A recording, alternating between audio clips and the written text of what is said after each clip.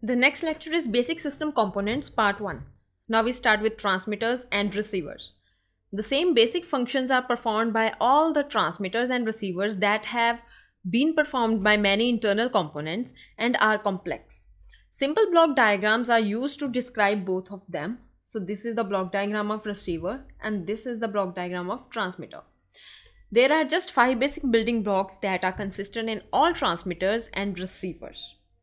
So we can explain them in detail. The first is antennas. It is the first device. The electrical signals that are flowing down a conductor are converted into the airborne waves or vice versa by the antenna. The airborne waves are said to radiate out from antenna when they leave an antenna. Antennas can be active or passive. There are three things on which the shape and size of any particular antenna depends. The frequency that can be handled by an antenna is the first thing on which the physical characteristics depend. The direction of the airborne signal is the second thing, and the power is the third thing that determines the size of an antenna. Antennas may be omnidirectional or directional.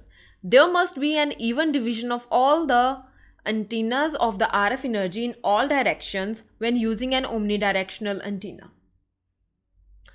But if the RF energy has to be radiated in any particular directions, then directional antennas are to be used. The amount of RF energy coming out of both of these antennas will be same, but in case of directional antennas, the energy is divided over the smaller areas. An antenna pattern is a tool used by the RF engineers to know the design of the antenna. In antenna pattern, the antenna is represented by a solid dot in the middle and the power radiating out from the antenna is represented by a line drawn around the antenna.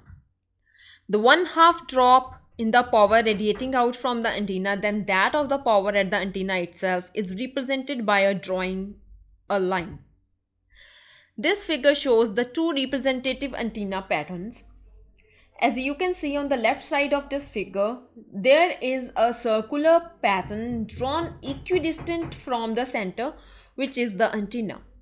This is a typical omnidirectional antenna pattern and shows RF energy radiated equally in all directions.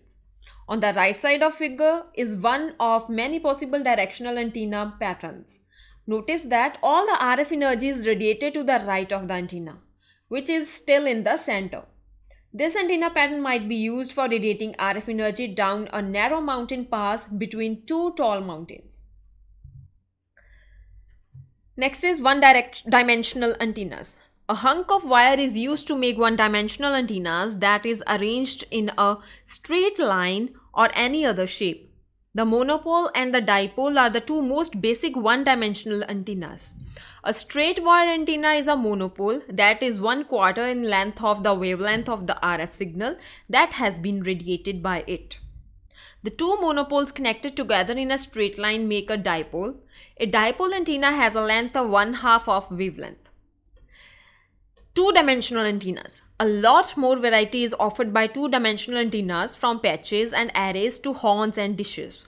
A square hunk of metal is comprised in a patch antenna, whereas a bunch of patches are there in an array in an organized two-dimensional pattern. Next is smart antennas. Mobile telephony uses smart antennas that have three sets of antennas. There is a division of the cell into three 120 degree sectors. 120 degree of coverage has been provided by each set of antennas and therefore 120 degree of beam width is there. The problem in using single antenna for 120 degree of coverage is wastage of RF energy and interference. Hence, the 120 degree sector should be broke into number of smaller sectors, each of having its own antennas and the users can be tracked by them as they move within the sector which is known as spatial division multiple access or SDMA. Switched beam and adaptive arrays are two types of smart antennas. Many narrow beam antennas are used in switched beam each of them are pointed in a slightly different direction so that the entire 120 degree sector can be covered. A single array antenna can be used by adaptive array in which the antenna beam can swing electronically from one position to the next. So this is all in this lecture. Thanks.